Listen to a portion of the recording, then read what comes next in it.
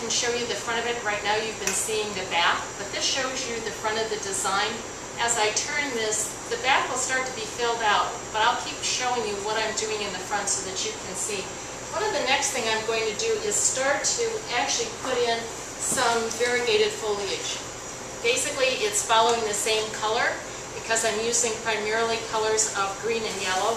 So definitely this piece of foliage has that it will actually start to hide some of the mechanics of this. So it's going to go deeper inside of the arrangement, so you can, I'm going to show you one piece of it as it goes in, but allows to show you to cover up these stems that are kind of throughout the design.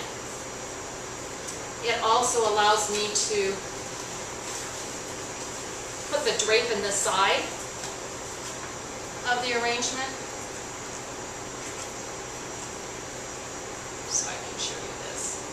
So now you can see the triangular point of this. So we have the point here, we have points over here, and they're actually just going to drape out. Some of the flowers will be added over here, so it's pretty much going to be a modified triangle.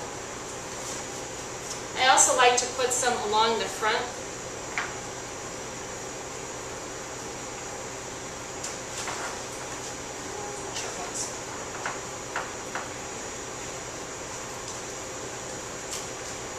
look like hosta leaves a little bit, but they're sturdier than hostas would be.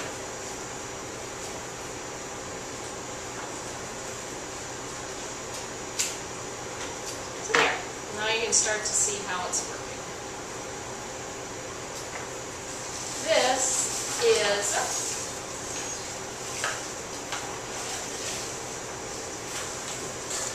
These also, so now I'm actually starting to add more texture into the design.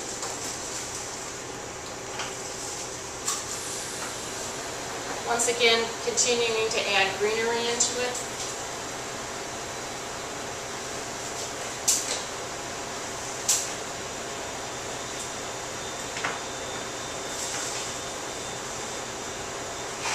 Still following the shape of the design.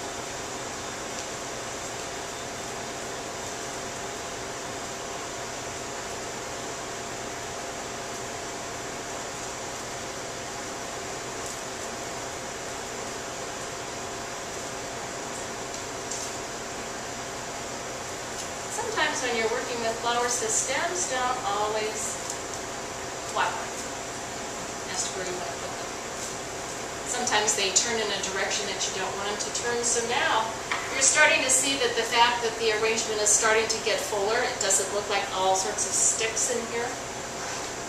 So I'll continue to add more of these and it just adds dimension and texture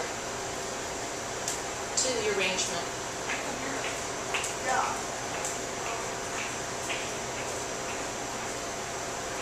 And I'm also doing this on the back of it as well. Now when I set this at the altar, it's going to be pretty close to the altar itself, but it still is to the point that you've got um, a nice covering of the back of the, of the arrangement as well.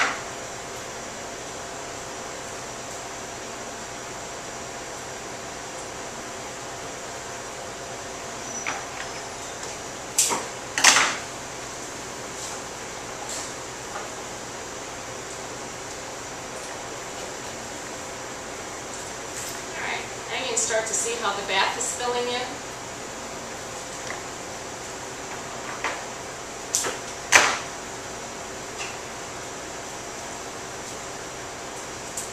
Okay, I'm add kind of an unusual flower that you don't see all that often. And so this one basically is called, a common name is called coxcomb. It is a garden flower, but it's also one that you can get at a uh, floral should be at a floral shop, and I got this from the wholesaler. And I chose this one for its color because it pretty much matches the color of the roses that are in here. So it also has a fairly large presence into it, so you're going to see it, and once again, it's going to add texture to the arrangement.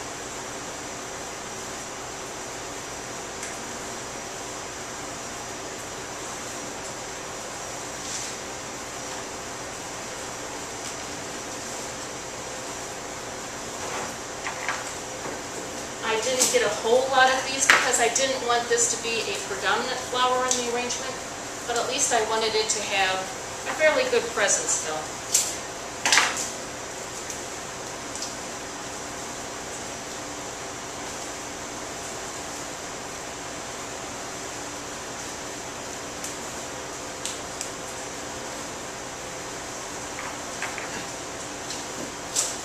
I was telling Diane that my mother used to grow this in her garden in the summertime. Used to seeing it in yellow. Normally I'm seeing it in, um, in reds and oranges.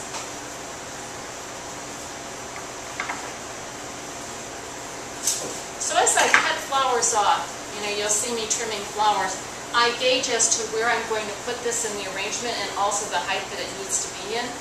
So this one, I'm going to try to wedge in more toward the top.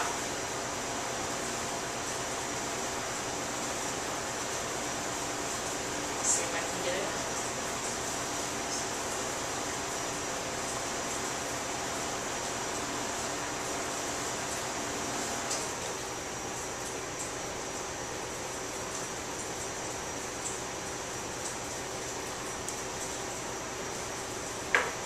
It's gonna get